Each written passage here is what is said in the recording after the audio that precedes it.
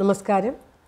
Welcome to Gita's Bhakthigeetham daily one Gita shlokam five hundred and ninety first day today tenth chapter twenty third shloka for details please see the description box Gita's Bhakthigeetham ദിവസവും ഒരു ഗീതാ ശ്ലോകം അഞ്ഞൂറ്റി തൊണ്ണൂറ്റി ഒന്നാം ദിവസം. ഇന്ന് പതിനെട്ടാം അധ്യായമായ മോക്ഷസന്യാസ യോഗത്തിലെ ഇരുപത്തി മൂന്നാമത്തെ ശ്ലോകം. ഓം നമോ ഭഗവതി വാസുദേവായ. ഓം ശ്രീകൃഷ്ണ പരമാത്മനി നമ. ഹരിശ്രീ ഗണപതയേ നമ.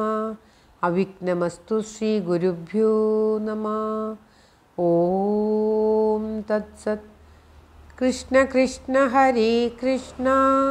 സർവജ്ഞത്വം പ്രസീതമേ. രമാരമണ വിശ്വേശ. വിദ്യാമാശു प्रयच्छ मे ओं तत्सत्। श्रीमद्भगवद्गीता ध्यानश्लोकम्। ॐ पार्थाय प्रतिबोधितां भगवता नारायणेन स्वयं व्यासेन घृदितां पुराणमुनिना मध्ये महाभारतम्। अद्वैतामृतवर्षिणीं भगवतीं അഷ്ടാദശാധ്യായിനീം അംബ ത്വാമനുസന്തദാമി ഭഗവൽ ഗീതേ ഭവദ്വേഷിനീം. ഓം തത്സത് ശ്രീമദ് ഭഗവത്ഗീത ശ്ലോകം പതിനെട്ടാം അധ്യായത്തിലെ ഇരുപത്തി മൂന്നാമത്തെ ശ്ലോകം. നിയതം സംഗരഹിതം അരാഗദ്വേഷതകൃതം അഫലപ്രേപ്സുനാ കർമ്മ. യത്തത് സ്വാത്വികമുച്ചതേ. നിയതം സംഗരഹിതം. അരാഗദ്വേഷതകൃതം അഫലപ്രേപ്സുനാ കർമ്മ. യത്തത് സാത്വികമുച്ചതേ ഓം തൽസത് ഭഗവാൻ പറയുകയാണ് ഫലം തനിക്ക് അനുഭവിക്കണമെന്ന ആകാംക്ഷയില്ലാത്തവനാൽ ആസക്തി കൂടാതെ രാഗദ്വേഷങ്ങൾക്ക് വശംവദനാകാതെയും അനുഷ്ഠിക്കപ്പെടുന്ന വിഹിത കർമ്മത്തെ സ്വാത്വിക കർമ്മം എന്ന് പറയപ്പെടുന്നു. ഭഗവാൻ ആദ്യം നമുക്ക് മൂന്ന് വിധത്തിലുള്ള ജ്ഞാനം സാത്വിക ജ്ഞാനം രാജസജ്ഞാനം താമസജ്ഞാനം എന്നിവ കഴിഞ്ഞ മൂന്ന് ശ്ലോകങ്ങളിൽ പറഞ്ഞു തന്നു. ഇപ്പോൾ ഭഗവാൻ മൂന്ന് വിധത്തിലുള്ള കർമ്മങ്ങളെപ്പറ്റി വിവരിച്ചു തരികയാണ്. ആദ്യമായി ആദ്യമായി സ്വാത്വിക കർമ്മത്തെപ്പറ്റിയാണ് പറയുന്നത്. ഫലേച്ഛയായ ഫലേച്ഛയിൽ ഇച്ഛയില്ലാതെ.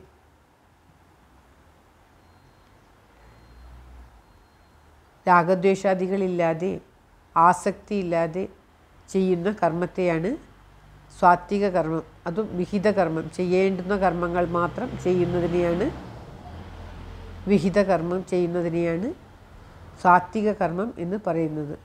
സ്വാത്വിക ജ്ഞാനമുള്ള ഒരുവൻ സ്വാത്വിക കർമ്മങ്ങളാണ് അനുഷ്ഠിക്കുക. അവൻ സ്വയം എല്ലാ കർമ്മങ്ങളും സന്തോഷത്തോടു കൂടി നിത്യകർമ്മങ്ങൾ ചെയ്യുന്നു. ഭഗവാന് എങ്ങനെയാണോ നമ്മൾ അർച്ചനയും മറ്റും ശാന്ത മനസ്സോടുകൂടി ചെയ്യുന്നത് അതുപോലെയാണ് ആ സാത്വിക കർമ്മി എല്ലാ കർമ്മങ്ങളും ചെയ്യുന്നത്. കർമ്മത്തിന്റെ ഫലത്തിൽ ആകാംക്ഷയില്ലാത്തതേ ചെയ്യുന്നതിനാൽ സമചിത്തതയോടെ അവന് ചെയ്യാൻ സാധിക്കുന്നു.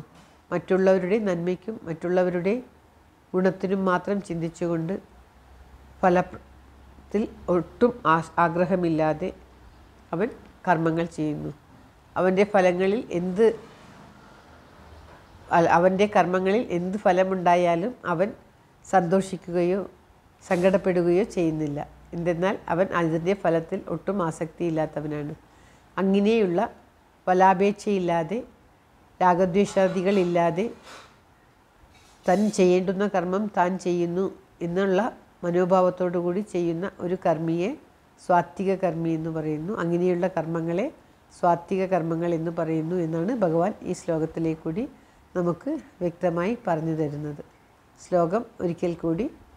നിയതം സംഗരഹിതം അരാഗദ്വേഷതകൃതം അഫലപ്രേപ്സുനാ കർമ്മ യത്തസ്വാത്വിക മുച്ചതേ ഓം തൽസത് ശ്രീമദ് ഭഗവത്ഗീത മാഹാത്മ്യ ശ്ലോകം.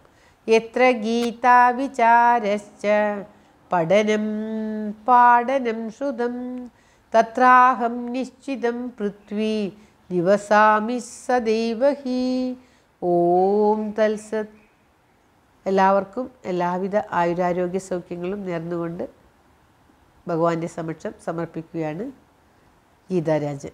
സർവത്ര ഗോവിന്ദനാമ സങ്കീർത്തനം ഗോവിന്ദ ഗോവിന്ദ. ഓം നമോ ഭഗവതേ വാസുദേവായ. ഓം ശ്രീകൃഷ്ണ പരമാത്മനേ നമ. Thank you thank you for watching all the best